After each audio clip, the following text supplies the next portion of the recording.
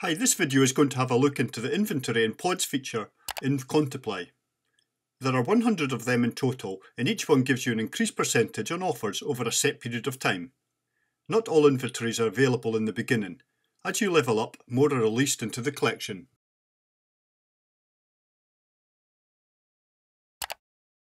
Now I have already purchased one common pod and received 3 inventory a couple of days ago. I lucked out with this one on my first purchase plus 2% on offers for life. It has no timescale like the consumable ones. Even after two days since purchasing and only activating the body cam from my collection, a total of 623 coins have been received from my 1000 coin investment. So in answer to the question in the title of this video, these pods are definitely worth it. In your profile is where you can see all of your activated inventory. Mine is currently full of empty slots with just one filled. The top section are equipable and remain there permanently. The lower section is for consumables, which after you have used them for the specified time period, are removed completely from your collection. So it shows here that I've had no boost earnings for today, and my current total is plus 2 on offer walls. I'm going to run a test now by purchasing another 5 pods, then use them over the next 3 days to see what profit has been made afterwards. To buy pods, you go to Dashboard, then Buy Pods. By selecting the lowest value pod, Always use your Conti points for purchasing, never your coins.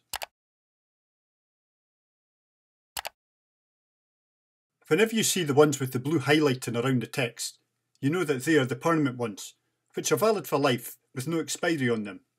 They are without a doubt the ones you want to be collecting. I have just skipped the purchase of another 4 pods which makes that 6 pods purchased overall for a total cost of 13,500 Conti points or 6,000 coins. There were three duplicate inventories though, and you can only hold one at a time in your collection so I lost them, so buying this many pods at once is certainly not the way to do it. To activate an inventory, you click on the plus icon on the top left, then select Use Item from the pop-up box.